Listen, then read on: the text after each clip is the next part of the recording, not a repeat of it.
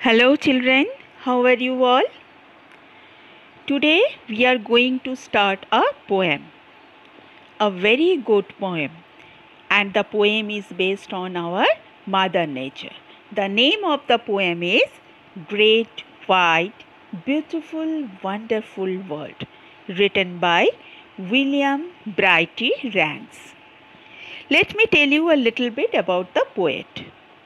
He was a British writer and one of the major authors of nursery rhymes.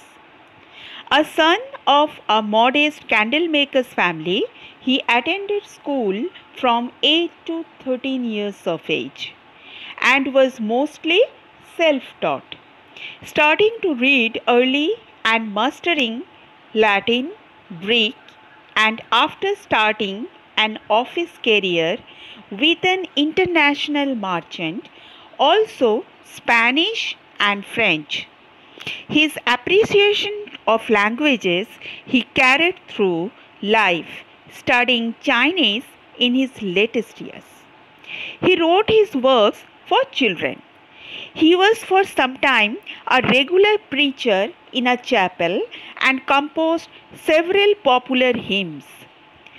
That, as well as his nursery rhymes, continued their legacy in several editions throughout the 19th century. Now, let me give you a little bit introduction about the poem. This is a poem by W.B. Rands. The poem talks about how beautiful and wonderful the world is. It uses metaphor and personifications to describe the different elements of the world. The poet emphasizes the idea of the greatness and largeness of the world. The poet personifies the world. He imagined it to be a person with a human characteristics. The rhyme scheme is quite simple and traditional. The poet in this poem is an admirer of the world and its beauty. Now I am going to read the poem.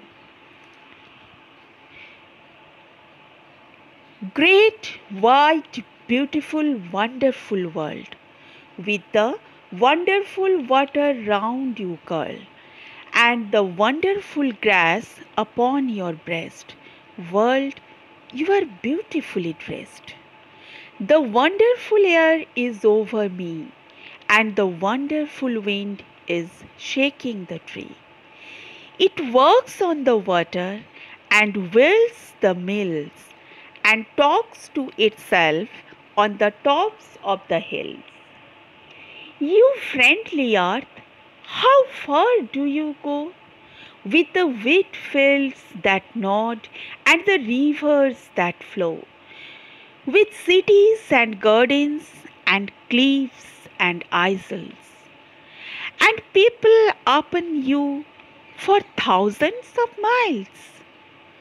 Ah, oh, you are so great, and I am so small. I tremble to think of you, world at all. And yet, when I said my prayers today, a whisper inside me seemed to say, You are more than the earth, though you are such a dot. You can love and think, and the earth cannot. So, this is the poem. Next class, I will explain the poem. Till then, you have to read the poem and learn the poem. After getting over from the lockdown, a nice activity is given to you. I know you will enjoy to do it. Check this activity and try to do. You will enjoy it. Till our next class, Take care of your health. Stay at home. Drink a lot. Bye bye.